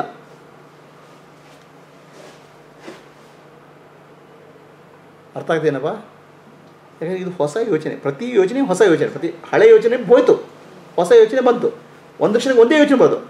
ಆ ಯೋಚನೆ ಸತ್ತೋಯ್ತು, ಈ ಯೋಚನೆ ಬಂತು. ಆಯಿತಾ? ಆ ಯೋಚನೆ ಬದುಕಿದ್ದಾಗ ಈ ಯೋಚನೆ ಇಲ್ಲ. ಈ ಯೋಚನೆ ಹುಟ್ಟಿದಾಗ ಆ ಯೋಚನೆ ಇಲ್ಲ. ಹಾಗೆ ಇವನಿಗೆ ಅದ್ರ ಬಗ್ಗೆ ಹೇಗೆ ಗೊತ್ತು ವಿಷಯದ ಬಗ್ಗೆ ವಿಷಯ ಒಂದೇನೆ ಯೋಚನೆ ಬೇರೆ ಬೇರೆ ಆ ವಿಷಯ ಕೂಡ ಯೋಚನೆ ತಾನೆ? ವಿಷಯ ಒಂದೇ ಅನ್ನೋದು ಕೂಡ ಯೋಚನೆ ತಾನೆ? ಒಂದು ಯೋಚನೆಗೆ ಇನ್ನೊಂದು ಯೋಚನೆಗೆ ಯಾವ ಸಂಬಂಧವೂ ಇಲ್ಲ. ನನ್ನ ಮನಸ್ಸಿಗೆ ತುಂಬ ಯೋಚನೆ ಬಂದದ್ದು ಒಂದು ಯೋಚನೆ ಬಂತು. ಈ ಯೋಚನೆಗೆ ಒಂದು ಯೋಚನೆ ಬಂದು ಗೊತ್ತಿಲ್ಲ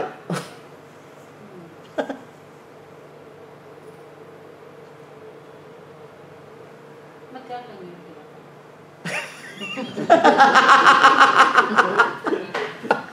ತಿಳ್ಕೊಳ್ಳೋದು ತಪ್ಪು ಆಲೋಚನೆ ತಪ್ಪು ಯಾವ ಭ್ರಮೆಯಲ್ಲಿ ಜೀವನ ಮಾಡ್ತಿದ್ದೀವಿ ನಾವು. ದೇಹ ನಾನು ಮನಸ್ಸು ನಾನು ಬುದ್ಧಿ ನಾನು ಭ್ರಮೆ ಬೇರೆ. ನಾನು ಯೋಚನೆ ಮಾಡ್ತಾ ಇದ್ದೇನೆ ಅಂತ ಒಂದು ಕಲ್ಪನೆ ಬೇರೆ. ಎಷ್ಟು ಜನ ಇಲ್ಲಿ ಕೂತ್ಕೊಂಡವ್ರು ನಾನು ನೀವು ಯೋಚನೆ ಮಾಡ್ತೀರಪ್ಪ? ನೀವೆಲ್ಲ ಯೋಚನೆ ಮಾಡ್ತೀರೇನ್ರಿ ಹಾಂ? ಯೋಚನೆ ಮಾಡ್ತೀರ ನೀವು.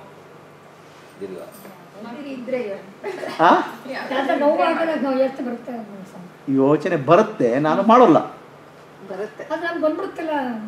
ನನಗೆ ಬಂದ್ಬಿಡ್ತಾನೆ ಯೋಚನೆ ಬಂತು. ನನಗೆ ಅಂದ್ರೆ ನನಗೆ ನಿಜವಾದ ನಾನು ಯಾರು. ನಿಜವಾದ ನಾನು ಯಾರು? ಅದಕ್ಕೆ ಯೋಚನೆ ಬಂತ? ಗೊತ್ತಾಯ್ತಪ್ಪ. ಅದಕ್ಕೆ ಯೋಚನೆ ಬಂತ? ಅದು ಯೋಚನೆ ಬಂದು ಕಾಣ್ತು. ಗೊತ್ತಾಯ್ತು. ಗೊತ್ತಾಯ್ತು. ಗೊತ್ತಾಯ್ತು. ನೀವು ಯೋಚನೆ ಮಾಡಿದ್ರಾ? ಇಲ್ಲ ಮನಸ್ಸು ಯೋಚನೆ ಮಾಡಿದೆ. ನಾನಲ್ಲ. ಮನಸ್ಸು ಯೋಚನೆ ಮಾಡೋ ಶಕ್ತಿ ಇಲ್ಲ ಅದಕ್ಕೆ. ಅದು ಯಂತ್ರ. ಅಲ್ಲಿ ಒಂದು ಯೋಚನೆ ಬಂತು. ಗೊತ್ತಾಯ್ತಾ? ಏನು ಯೋಚನೆ ಬಂತು? ನಾನು ತುಂಬ ಯೋಚನೆ ಮಾಡಿದೆ ಅಂತ ಯೋಚನೆ ಬಂತು. ಅದು ನಾನು ಬರೀ ಯೋಚನೆ ಮಾಡೋಕ್ಕಾಗಲ್ಲ ನನಗೆ. ನಾನು ಶುದ್ಧ ಚೈತನ್ಯ, ಅದು ಅರಿವು. ಅದು ಯೋಚನೆ ಮಾಡೋರು ಯಾರು? ನಾನು ಯೋಚನೆ ಮಾಡಿದೆ ಅಂತ ನಾನು ಅಂತ ಹೇಳ್ತಾರೆ. ಅದು ಕೂಡ ಒಂದು ಯೋಚನೆ ಅದು ನಾನಲ್ಲ ಅದು? ಒಂದು ಯೋಚನೆಗೆ ಇನ್ನೊಂದು ಯೋಚನೆ ಬಗ್ಗೆ ಗೊತ್ತೇ ಇಲ್ಲ. ಅದು ಹೇಳ್ತೇನೆ ನಾನು ನಿನ್ನೆಯಿಂದ ಅದೇ ಯೋಚನೆ ಮಾಡ್ತೇನೆ ಅಂತ. ಅದು ಒಂದು ಹೊಸ ಯೋಚನೆ. ಅದು ಪಾಪ ಇದು ಈಗ ತಾನೇ ಹುಟ್ಟಿ ಬಂತು ಈಗ ತಾನೇ ಹುಟ್ಟಿ ಬಂದ ಮಗು ಅಪ್ಪ ಅಮ್ಮನ ಮಗ ಹೇಳ್ತದೆ. ಅಪ್ಪ ಅಮ್ಮ ನೀವೆಲ್ಲ ಬದ್ ನೀವೆಲ್ಲ ಬದುಕಿದ್ದು ನನಗೆ ಗೊತ್ತಿದೆ ಅಂತ. ಆಗ ಹೇಳ್ತಾ ಇದೆ ಅದು? ಅರ್ಥ ಆಗ್ತೀಯಾ?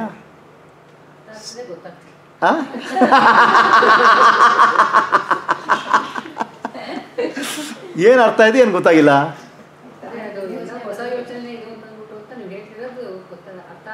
ಹಾಂ. ಅದು ಹೇಳಿದಲ್ಲ ಮನಸ್ಸಲ್ಲಿ ಒಂದು ಯೋಚನೆ ಒಂದು ಕ್ಷಣಕ್ಕೆ ಒಂದು ಎರಡು ಯೋಚನೆಗಳು ಒಟ್ಟಿಗೆ ಬರೋದಿಲ್ಲ ಬರೋದಿಲ್ಲ ಒಂದು ಒಂದೇ ಯೋಚನೆ. ಅದು ಓಕೆ. ಆ ಒಂದು ಯೋಚನೆ ಮುಂದುವರ್ಕೊಂಡು ಹೋಗ್ತಾ ಇದೆ. ಯಾವುದೋ ಒಂದು ಬಗ್ಗೆ ಯೋಚನೆ ಮಾಡ್ತಾ ಇದೆ. ಅಲ್ಲ ಪ್ರತಿ ಯೋಚನೆ ಅಂದ್ರೆ ಹೊಸ ನೆಕ್ಸ್ಟ್ ಯೋಚನೆ ಬಂದಲ್ಲ ಅದು ಹೊಸ ಯೋಚನೆ ಅದು ಹಳೇದಲ್ಲ. ಅದು ಅದರ ಬಗ್ಗೆ ಯೋಚನೆ ಬಂದಂತ ಹೊಸ ಯೋಚನೆ ಬಂತು ಅದು ಅದೇ ಯೋಚನೆ ಅಲ್ಲ ಅದು ಹಳೆಯ ಯೋಚನೆ ಸತ್ತೋಯ್ತು. ಒಂದು ವಿಷಯದ ಬಗ್ಗೆ ಒಂದು ಇನ್ನೊಂದು ಯೋಚನೆ ಬಂತು ಅದು ಹಳೆಯ ಯೋಚನೆ ಸತ್ತೋಯ್ತು. ಒಂದೇ ವಿಷಯದ ಬಗ್ಗೆ ಯೋಚಿಸ್ತಿರ್ತೀವಲ್ಲ. ಒಂದೇ ವಿಷಯದ ಬಗ್ಗೆ ಯೋಚನೆ ಮಾಡಬೇಕಾದ್ರೂ ಆ ವಿಷಯದ ಬಗ್ಗೆ ಹೊಸ ಯೋಚನೆ ಅಂದರೆ ವಿಷಯ ಈಗ ಏನು ಮಾಡ್ತಾರೆ ಇದೇ ಈಗ ಇದು ದ್ರಾಕ್ಷಿ ದ್ರಾಕ್ಷಿ ದ್ರಾಕ್ಷಿ ದ್ರಾಕ್ಷಿ ದ್ರಾಕ್ಷಿ ಅಂತ ಮೂರು ಯೋಜನೆ ಬಂತು. ಅದು ಮೂರು ಯೋಚನೆ ವಸ್ತು ಒಂದೇ. ಯೋಚನೆ ಮೂರು ಬೇರೆ. ಒಂದು ಯೋಚನೆ ಹುಟ್ಟು ಸತ್ತೋಯ್ತು. ಇನ್ನೊಂದು ಯೋಚನೆ ಹುಟ್ಟು ಸತ್ತೋಯ್ತು. ಒಂದು ಯೋಚನೆಗೂ ಇನ್ನೊಂದು ಯೋಚನೆಗೆ ಯಾವ ಸಂಬಂಧವೂ ಇಲ್ಲ. ಕಂಟಿನ್ಯೂಟಿ ಇಲ್ಲ. ಕಂಟಿನ್ಯೂಟಿ ಇಲ್ಲದೆ ಹೋದರೆ ಕೆಲಸ ಹಾ ಕೆಲಸ ಹಾಂ ಕಂಟಿನ್ಯೂಟಿ ಕಂಟಿನ್ಯೂಟಿ ಇಲ್ದಿದ್ರೆ ಕೆಲಸ ಮಾಡೋದು ಹೇಗೆ ಅಂತ ಪ್ರಶ್ನೆ. ಕೆಲಸ ಮಾಡುವಾಗ ನಿಮ್ಗೆ ಯೋಚನೆ ಬೇಕಾ? ಯೋಚನೆ. ಮಾಡಿ ಕೆಲಸ ಮಾಡೋದು ನೀವು ಯೋಚನೆ ಮಾಡಿ ಕೆಲಸ ಶುರು ಮಾಡ್ತೀರಾ? ಕೆಲಸ ಮಾಡುವಾಗ ಯೋಚನೆ ಇಲ್ಲ. ಯೋಚನೆ ಮಾಡಿದ್ರೆ ಕೆಲಸ ಆಗೋದಿಲ್ಲ.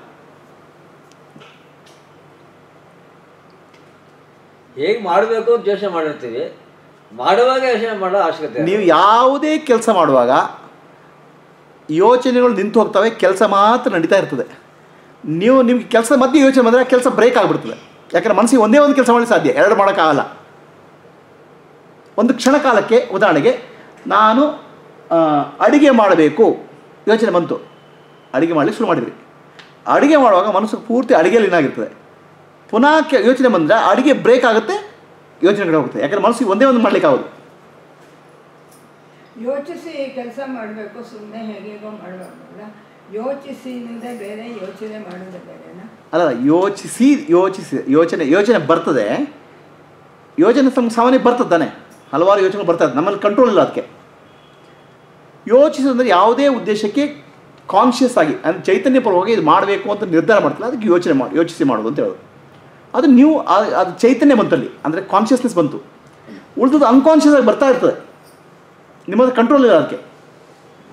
ಆ ಕಂಟ್ರೋಲಿಂದ ಬರೋ ಯೋಚನೆ, ಒಂದು ಯೋಚನೆಗೆ ಇನ್ನೊಂದು ಯೋಚನೆಗೆ ಸಂಬಂಧನೇ ಇಲ್ಲ. ಈಗ ನಾನು ಇದನ್ನು ಮಾಡಬೇಕು ಅಂತ ಯೋಚನೆ ಮಾಡ್ತಿಲ್ಲ. ಅದು ಚೈತ್, ಅದು ಚೈತ ಕಾನ್ಷಿಯಸ್ ಆಗಿ. ಅದು ಒಂದು ಯೋಚನೆ. ಆಮೇಲೆ ಕೆಲಸ ಶುರು ಮಾಡಿದ್ರಿ. ಕೆಲಸ ಶುರು ಮಾಡಿದಾಗ ಯೋಚನೆ ಇಲ್ಲ. ಕೆಲಸ ಶುರು ಮಾಡಿದಾಗ ಬೇರೆ ಯೋಚನೆ ಬಂದರೆ ಆ ಕೆಲಸ ಮತ್ತೆ ಡಿಸ್ಟರ್ಬ್ ಆಗುತ್ತೆ ಆ ಕೆಲಸದ ಬಗ್ಗೆನೇ ಯೋಚನೆ ಮಾಡಿ ಮಾಡಬೇಕು ಅಲ್ಲ ಅದೇ ಹೇಳಿದ್ದು ಯೋಚನೆಗಳು ಎರಡು ರೀತಿ.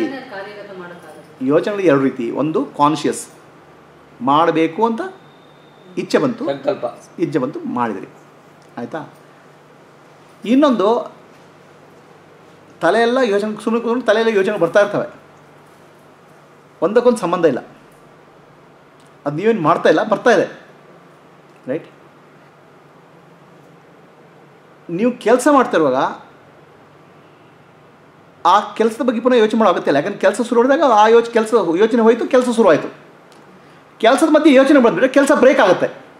ಅದಕ್ಕೆ ತಾನೇ ಹುಡುಗ, ಓ, ಎಲ್, ನಾನು ನಾನು ಡಿಸ್ಟರ್ಬ್ ಮಾಡಬಾರ್ದು ಅಂತ ರೂಮಲ್ಲಿ ಹೋಗಿ ಕೂತ್ಕೊಂಡು ಬಾಗಿಲು ಹಾಕ್ಕೊಂಡು ಓದೋದು. ಯಾಕಂದ್ರೆ ಅದ್ರ ಮಧ್ಯೆ ಬೇರೆ ಯೋಚನೆಗಳು ಅಥವಾ ಬೇರೆ ಥಾಟ್ಸ್ ಬಂದರೆ ಅದು ಡಿಸ್ಟರ್ಬ್ ಆಗುತ್ತೆ. ಕೆಲಸದ ಮೇಲೆ ಮಗ್ನ ಆಗ್ಬಿಡ್ತೀರ. ಕೆಲಸ ಓದೋದು ಕೆಲಸನೇ. ಆ ವಿಷಯದ ಬಗ್ಗೆ ಫೋಕಸ್ ಆವಾಗ ಬೇರೆ ಥಾಟ್ಸ್ಗಳು ಬರೋಕ್ಕೆ ಸಾಧ್ಯನೇ ಇಲ್ಲ. ಸೊ ನೀವು ಕೆಲಸ ಮಾಡ್ತಾಯಿದ್ರೆ ಬೇರೆ ಥಾಟ್ಸ್ ಇಲ್ಲ. ಕೆಲಸ ಮಾಡೋ ಮುಂಚೆ ಒಂದು ಥಾಟ್ ಬಂತು ಕೆಲಸ ಶುರು ಮಾಡಿದ್ವಿ. ಆಮೇಲೆ ಬೇರೆ ಥಾಟ್ಸ್ ಇಲ್ಲ. ಮತ್ತೆ ನಿಮ್ಗೆ ಬೇರೆ ಥಾಟ್ಸ್ ಶುರು ಆಗೋದು. ಒಂದು ಥಾಟಿಗೆ ಇನ್ನೊಂದು ಥಾಟಿಗೆ ಸಂಬಂಧನೇ ಇಲ್ಲ ಅವು. ಈ ಕೆಲಸ ಮಾಡ್ತೀವಿ ಏನೋ ಯೋಚನೆ ಮಾಡ್ತಾರೆ ಕೆಲಸ ಮಾಡ್ತಾರೆ ಆ ಯೋಚನೆ ಮುಗಿದೋಯ್ತು. ಹೌದು. ಆ ಕೆಲಸ ಮಾಡ್ತಿರುವಾಗ ನಾಳೆ ದಿನೇನೆ ಯೋಚನೆ ಬರುತ್ತಲ್ಲ ಬರಲಿ. ಅದು ಡಿಸ್ಟರ್ಬ್ ತಾನೆ ಕೆಲಸ ಡಿಸ್ಟರ್ಬ್ ಆಯ್ತಾನೆ ನಾಳೆ ಇನ್ನೊಂದು ಯೋಚನೆ ಬಂದಾಗ ಈಗ ಮಾಡ್ತಾ ಇರೋ ಕೆಲಸ ಡಿಸ್ಟರ್ಬ್ ಆಯ್ತಲ್ಲ? ಒಂದು ಕ್ಷಣಕ್ಕೆ. ಕೆಲಸ ಮಾಡ್ತಿದ್ವಿ, ಒಂದು ಅಡುಗೆ ಮಾಡಿದೆ, ಮಾಡ್ತಿರ್ತೀವಿ. ಮೆಂಟಲ್ ಆಗಿ ಮಾಡುವಾಗ ಅದು ಯೋಚನೆ ಬರೋದಿಲ್ಲ ಇವಾಗ ನೀವು ಹೇಳ್ತಾ ಇದ್ದೀರಾ ನಿಮ್ಗೇನು ಯೋಚನೆ ಬರಲ್ಲ? ಅಲ್ಲ, ನಾನು ಹೇಳಿದ್ದು, ಇವಾಗ ಯಾವುದೋ ಓದಬೇಕು, ಹೇಳಬೇಕು ಅಂದ್ಕೊಂಡಾಗ ಓದ್ತಾ ಇರ್ತೀವಿ, ಅವಾಗ ಅಲ್ಲೇನೇ ಇರುತ್ತೆ ಯೋಚನೆ ಬಂದ. ಬಟ್ ಫಿಸಿಕಲ್ ಮ್ಯಾನ್ಯಲ್ ವರ್ಕ್ಗಳು ಮಾಡುವಾಗ ಮ್ಯಾನ್ಯಲ್ ವರ್ಕ್ಗಳು ಮಾಡುವಾಗ ಏನೋ ಯೋಚಿಸಿರ್ತೀವಿ ಅದು ಮಾಡ್ತಾ ಇರ್ತೀವಿ ಬಟ್ ಅವಾಗ ಬೇರೆ ಇನ್ನೇನೋ ಥಾಟ್ಸ್ ಬರ್ತಲ್ಲ ಅದೇ ಇವಾಗ ಯಾವುದೋ ಅಡುಗೆ ಮಾಡ್ತಾ ಇರುತ್ತೆ ಅಡುಗೆ ಮಾಡ್ತಿರುವಾಗ ಮೆಕ್ಯಾನಿಕಲ್ ಆಗಿ ಏನೋ ಮಾಡ್ಕೊಂಡು ಹೋಗ್ತಿರುತ್ತೆ ಬಟ್ ಯೋಚನೆ ಇದನ್ನು ಸಾಯಂಕಾಲ ಇದನ್ನು ಹೇಳಬೇಕು? ಅಲ್ಲಿ ಓದಿದ್ದೆ ಇದನ್ನು ಯಾವ ಥರ ಹೇಳಿದ್ರೆ. ಅಂಡರ್ಸ್ಟ್ಯಾಂಡ್ ಆಗುತ್ತೆ ಅಂತ ಯೋಚನೆ ಬರ್ತಾ ಇರ್ತಾರೆ ಕೈ ಕೆಲಸ ಮಾಡ್ತಾ ಇರುತ್ತೆ. ಹೌದೌದು ಆಟೋಮ್ಯಾಟಿಕ್ ಆಗಿ ಅದೇನು ಹಾಕಬೇಕೋ ಹಾಕ್ತಿರುತ್ತೆ. ಬಟ್ ಯೋಚನೆ ಎಲ್ಲಿರುತ್ತೆ ಅಂದರೆ ಸಾಯಂಕಾಲ ಇದನ್ನು ಹೇಳಿದ್ರೆ ಎಕ್ಸ್ಪ್ಲೇನ್ ಮಾಡ್ಬೇಕಾದ್ರೆ ಹಿಂಗೆ ನೋಡಿ, ಅದರಲ್ಲಿ ನಮ್ಮಲ್ಲಿ ಅದು ಯೋಚನೆ ಅಲ್ಲ ಹೌದು ಯೋಚನೆ. ಯೋಚನೆ. ಸೊ ಮೆಂಟಲ್ ಥಾಟ್ಸ್ಗೂ ಫಿಸಿಕಲ್ ಆಗಿ ನಾಳೆ ಏನಂದರೆ ಎರಡಿದೆ ನೋಡಿ. ಈಗ ನಾವು ಏನೋ ಒಂದು ಕೆಲಸ ಮಾಡುವಾಗ ಮೊದಲು ಸೈಕಲ್ ಕಲಿತಾನು. ಸೈಕ್ಲಿಂಗ್ ಕಲಿತಾನು. ಸೈಕಲ್ ಕಲಿಬೇಕಾದ್ರೆ ಮೊದಲು ಭಾಳ ಎಚ್ಚರದಿಂದ ಮಾಡಬೇಕು, ಅರಿವಿಂದ ಮಾಡಬೇಕು ಕಾನ್ಷಿಯಸ್ ಆಗಿ. ಇಲ್ಲಿ ಬಿದ್ದುಬಿಡ್ತೇವೆ ಯಾರೋ ಹಿಡ್ಕೋಬೇಕು. ಸ್ವಲ್ಪ ಕಾಲ ಹೋಗ್ತಾ ಹೋಗ್ತಾ ಅದು ಆಟೋಮೆಟಿಕಾಗಿ ಹೋಗ್ಬಿಡ್ತದೆ. ಈಗ ಕಾನ್ಷಿಯಸ್ ಮೈಂಡ್ ಬೇಡ, ಬೇಕಾಗಿಲ್ಲ. ಆಯ್ತಲ್ಲ? ಅದು ಇನ್ಸ್ಟ್ರಕ್ಷನ್ ಕೊಡ್ತದೆ. ಕೆಲಸ ಸ್ಟಾರ್ಟ್ ಮಾಡೋಂತ ಆದರೆ ನಮ್ಮಲ್ಲಿ ಒಂದು ಆಟೋ ಪೈಲಟ್ ಇದೆ. ಅಂದರೆ ಆಟೋಮೆಟಿಕ್ಕಾಗಿ ಕೆಲಸ ಮಾಡೋದು ಮೆಷಿನ್ ಇದೆ ಪ್ರೋಗ್ರಾಮ್ ಇದೆ ಕಂಪ್ಯೂಟರ್ ಇದೆ. ಅದಕ್ಕೆ ಕಲ್ಸ್ಕೊಡ್ಬೇಕು ಮೊದಲು ನಾವು. ಏನು ಮಾಡಬೇಕು ಅಂತ? ಸೈಕಲ್ ಬಿಡೋದು ಹೀಗಪ್ಪ ಅಂತ ಕಲ್ಸ್ಕೊಡ್ಬೇಕು. ಅದು ಕಲ್ಸ್ಕೊಟ್ಮೇಲೆ ನಾನು ಅದ್ರ ಬಗ್ಗೆ ಯೋಚನೆ ಮಾಡೋಕೆ ತಕ್ಷಣ ಮಾಡ್ತಾ ಇರ್ತದೆ. ಈಗ ನಾನು ಮಾಡ್ತಾ ಇಲ್ಲ ಅದು. ಮೆಷಿನ್ ಮಾಡ್ತಾ ಇದ್ದದು ಒಳಗಡೆ. ಮೆಷಿನ್ ಸ್ವಿಚ್ ಆನ್ ಮಾಡಿಬಿಟ್ಟು ಮಾಡ್ತಾರೆ ಹಾಗೆ ನೀವು ಮೆಕ್ಯಾನಿಕಲಾಗಿ ಮಾಡೋ ಕೆಲಸ, ಮೊದಲು ಕಲಿಸಿದ್ರಿ ಅದಕ್ಕೆ. ಯಾವುದಕ್ಕೆ ಆ ರೋಬೋಟಿಗೆ ಆ ಕಂಪ್ ಪ್ರೋಗ್ರಾಮಿಗೆ ಸೊ ಈಗೇನು ಹೇಳ್ತೀರಾ? ಈಗ ಅಡುಗೆ ಮಾಡಬೇಕು ಅಂತ ಡಿಸೈಡ್ ಮಾಡಿದ್ರಿ. ಕಡೆಗೆ ಅಡುಗೆ ಮನೆಗೆ ಹೋದ್ರಿ. ಉಪ್ಪು ಹಾಕೋದು, ಅದೆಲ್ಲ ತಕ್ಷಣ ಮಾಡ್ತಾ ಇರ್ತದೆ. ಯಾಕಂದರೆ ಅಲ್ಲಿ ಪ್ರೋಗ್ರಾಮ್ ಆಗಿಬಿಟ್ಟಿದೆ. ನಿಮ್ಮ ಯೋಚನೆ ಬರಬೇಕಾದ ಅಗತ್ಯ ಇಲ್ಲ. ಆಯಿತಾ?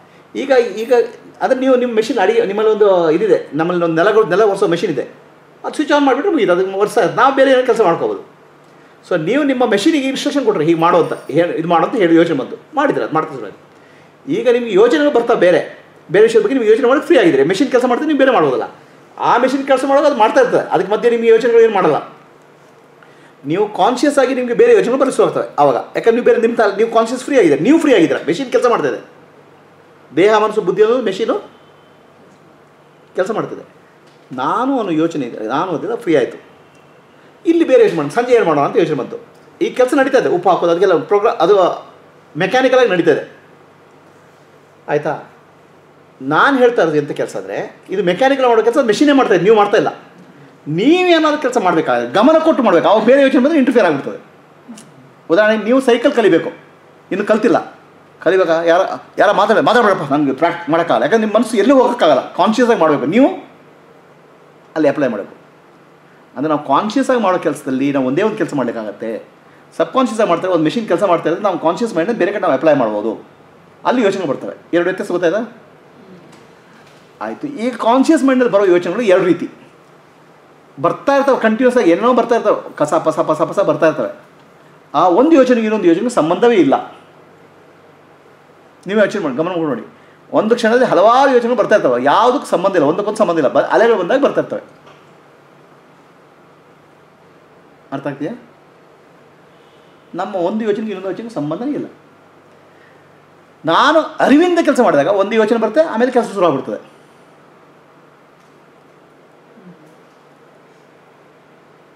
ಆಯಿತಾ? ಕೆಲಸದಲ್ಲಿ ಅದು ನೀವು ಕಂಪ್ ಅದು ನಿಮ್ಮ ಪ್ರೋಗ್ರಾಮ್ ಆಗಿದೆ ಅದು ಕೆಲಸ ಮಾಡ್ತದೆ ಇಲ್ಲ ನೀವು ಮಾಡಬೇಕಂದ್ರೆ ನೀವು ಗಮನ ಕೊಟ್ಟು ಮಾಡ್ತೀರಾ. ಗಮನ ಕೊಟ್ಟು ಮಾಡೋಕೆ ಬೇರೆ ಬೇರೆ ಯೋಜನೆ ಬರೋಕ್ಕೆ ಸಾಧ್ಯನೇ ಇಲ್ಲ. ಯಾಕಂದ್ರೆ ಮನಸ್ಸಿಗೆ ಒಂದೇ ಕಡೆ ಗಮನ ಹೋಗ್ಲಿಕ್ಕೆ ಸಾಧ್ಯ. ಗಮನ ಕೊಟ್ಟು ಮಾಡಿದಾಗ ಉಪ್ಪು ಹುಳಿ ಖಾರ ಸರಿಗಿರತ್ತೆ ಗುರುದೇವ. ಹಾಂ. ಪ್ರೋಗ್ರಾಮ್ ಮಾಡಿದಾಗ ಅದು ಉಪ್ಪು ಗೊತ್ತಿಲ್ಲ. ಪ್ರೋಗ್ರಾಮ್ ಮುಂಚೆನೆ ಇರುತ್ತಲ್ಲ ಉಪ್ಪು ಹಾಕ್ಬೇಕು ಉಪ್ಪ ಹಾಕಂತ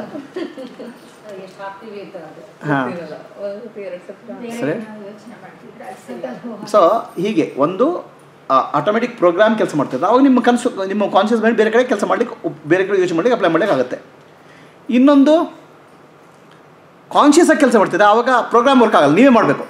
ಆವಾಗ ನೀವು ಬೇರೆ ಯೋಚನೆ ಮಾಡೋಕ್ಕಾಗಲ್ಲ ಅದೇ ಕಡೆ ಗಮನ ಇರುತ್ತೆ. ಅಲ್ಲಿ ಯೋಚನೆಗಳಿಲ್ಲ. ಒಂದು ಯೋಚನೆ ಬರುತ್ತೆ ಹೋಗುತ್ತೆ. ಬಟ್ ನೀವು ಅದನ್ನು ಕಾನ್ಷಿಯಸ್ ಆಗಿ ಬಿಟ್ಬಿಟ್ರಿ. ಸಬ್ ಕಾನ್ಷಿಯಸ್ ಬಳಸೋದು ಯೋಚನೆ ಒಂದಕ್ಕೊಂದು ಹಿಂದೆ ಬರ್ತಾ ಇರ್ತಾವೆ. ಅದು ಒಂದಕ್ಕೊಂದು ಸಂಬಂಧನೇ ಇಲ್ಲ. ಒಂದು ಯೋಚನೆಗೆ ಹಿಂದಿನ ಯೋಜನೆ ಬಗ್ಗೆ ಗೊತ್ತಿಲ್ಲ. ಅರ್ಥದ ಸೊ ಹೀಗಿದೆ ಪರಿಸ್ಥಿತಿ. ಆ ನಮಗೆ ನಮಗೆ ನಮ್ಮ ಜೀವನ ಮಾಡಬೇಕಾದ್ರೆ ಕೆಲವೇ ಕೆಲವು ಕಾನ್ಷಿಯಸ್ ಥಾಟ್ಸ್ ಸಾಕು. ಇಲ್ಲಿ ನಮ್ಗೆ ವಿಪರೀತ ಥಾಟ್ಸ್ ಬರ್ತವೆ. ಯಾಕಂದರೆ ಅದು ಆಲ್ರೆಡಿ ಪ್ರೋಗ್ರಾಮ್ ಆಗಿಬಿಟ್ಟಿದೆ. ಸೊ ಧ್ಯಾನ ಅಂದರೆ ಈ ಯೋಚನೆಗಳು ನಾನಲ್ಲ. ಅದನ್ನು ನೋಡ್ತಾ ಇರೋ ಸಾಕ್ಷಿ ನಾನೊಂದು ಪುನಃ ಪುನಃ ಅರಿವು ಬರ್ತಾ ಇದೆ. ಈ ಯೋಚನೆಗಳು ಕಡಿಮೆ ಆಗಲು ಶುರು ಆಗ್ತದೆ ಅನ್ಕಾನ್ಷಿಯಸ್ ಥಾಟ್ಸ್ ಇಲ್ಲಿ ನೀವು ಯೋಚನೆ ಸಿಕ್ಕಾಕೊಂಡು ಇನ್ನೊಂದು ಥಾಟ್ ಬರ್ತದೆ.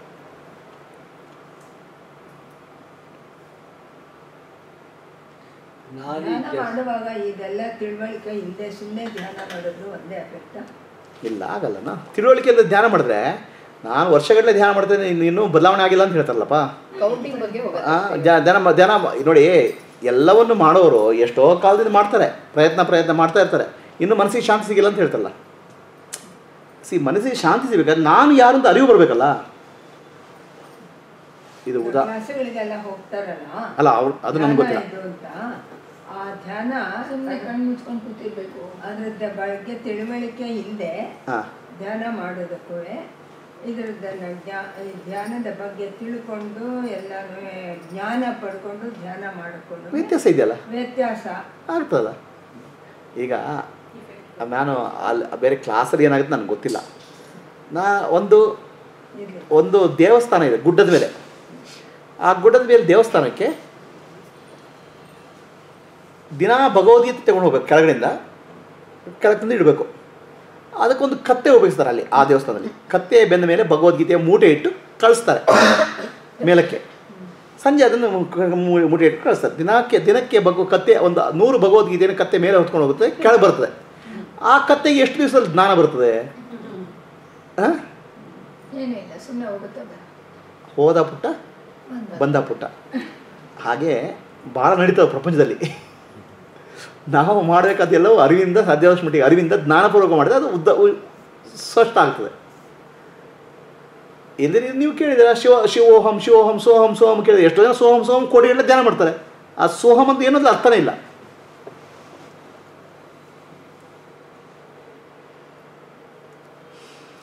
ಒಂದು ಯೋಚನೆಗೂ ಇನ್ನೊಂದು ಯೋಚನೆಗೂ ಸಂಬಂಧ ಇಲ್ಲ. ನಾನು ಕೆಲಸ ಮಾಡ್ತಿರೋ ಯೋಚನೆ ಬರೋಲ್ಲ ನಾನು ಕೆಲಸ ಮಾಡ್ತೇನೆ, ನಾನು ಚೈತನ್ಯಪೂರ್ವಕ, ಅಂದರೆ ಅರಿವಿನಿಂದ ಕೆಲಸ ಮಾಡ್ತೇನೆ. ಅರಿವಿದ್ದಾಗ ನಾನು ಬೇರೆ ಅದು ಕೆಲಸ ನಡೀತಾ ಇರುತ್ತೆ, ನಾನು ಎಂದು ಯೋಚನೆ ಮಾಡ್ತೇನೆ. ಆಯಿತಾ? ಇದು ಯೋಚನೆಗಳ ರೀತಿ. ನಾನು ಅರಿವಿನಿಂದ ಮಾಡಿದರೆ, ನಾನು ಧ್ಯಾನ ಮಾಡ್ತಕ್ಕೆ ಅರಿವಿಂದ ಕೂತ್ಕೊಂಡ್ರೆ ಯೋಚನೆ ಬರಲ್ಲ. ಯಾಕಂದ್ರೆ ನಾನು ಧ್ಯಾನದಲ್ಲಿ ಕೂತ್ಕೊಂಡಿದ್ದೇನೆ. ಅವಾಗ ಯೋಚನೆ ಬರಲ್ಲ. ಯೋಚನೆ ಬಂತು ನಿಮ್ಮ ಅರಿವು ಹೋಯಿತು.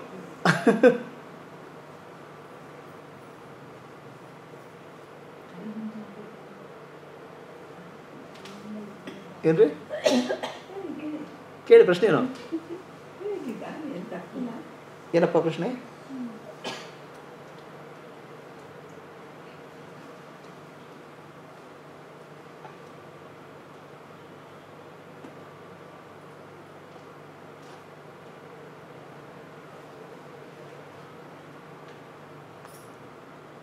ಏನ್ರಿ? ಪ್ರಶ್ನೆ ಏನು? ಅರಿವಿಂದ ಏನಿಗೆ ಧ್ಯಾನದಲ್ಲಿ ಕೂಡೋದು ಅದು ಹೇಳಿದ್ನಲ್ಲಪ್ಪ ನೀವು ಅರಿವಿಂದ ಮಾಡುವಾಗ ನಿಮ್ಗೆ ಒಂದೋ ಕೆಲಸ ನಡೀತದೆ, ಅಥವಾ ಸರಿಯಾಗಿ ಒಂದು ಯೋಚನೆ ಮಾಡಿ ಕೆಲಸ ಮಾಡಲಿಕ್ಕಾಗತ್ತೆ. ಎರಡೆರಡು ಮಾಡೋಕ್ಕಾಗಲ್ಲ ಒಟ್ಟಿಗೆ. ನೀವು ಅರಿವು ತಪ್ಪಿದಾಗ ನಿಮ್ಮ ಸಬ್ಕಾನ್ಷಿಯಸ್ ಮೈಂಡ್ ಯೋಚನೆ ಬರ್ತಾ ಇರ್ತವೆ ಅದರ ಅರ್ಥ ನಿಮ್ಮ ಅರಿವು ತಪ್ಪಿ ಹೋಗ್ಬಿಟ್ಟಿದೆ ಅಂತ. ಒಂದು ಯೋಚನೆ, ಇನ್ನೊಂದು ಯೋಚನೆ ಸಂಬಂಧನೇ ಇಲ್ಲ. ಪುನಃ ನಾನು ಯಾರು ಅಂತ ಯೋಚನೆ ಮಾಡಿಕೊಳ್ಳೆ, ಅದು ಅರಿವುಗಳು ಸ್ಟಾಪ್ಗಳು ಆ ಯೋಚನೆ ನಿಂತೋಗ್ಬಿಡ್ತವೆ. ನಾನು ಶುದ್ಧ, ನಾನು ನಿನ್ನ ಕಡೆ ಮನ ಗಮನ ಹೋಗ್ತದೆ ನಾನು ಶುದ್ಧ ಚೈತನ್ಯ ಅಂತ ಅರಿವು ಮಾಡ್ಕೊಂಡು ಮಾಡ್ತಾ ಇದ್ದೆ ಅರಿವು ಬಂದ ಕೂಡಲೇ ಬೇರೆ ಎಲ್ಲ ಯೋಚನೆಗಳು ನಿಂತೋಗ್ಬಿಡ್ತವೆ. ಗಮನ ಶುದ್ಧವಾದ ನಾನು ನಿನ್ನ ಕಡೆ ಹೋಗ್ತದೆ. ಸರಿನಾ? ಇನ್ನೊಂದು, ಓಕೆ, ಇಷ್ಟಕ್ಕೆ ಸದ್ಯಕ್ಕೆ ಸಾಕು. ಸ್ವಲ್ಪ ಧ್ಯಾನ ಮಾಡೋಣ. ತುಂಬ ಹೆವಿ ಆಯಿತು.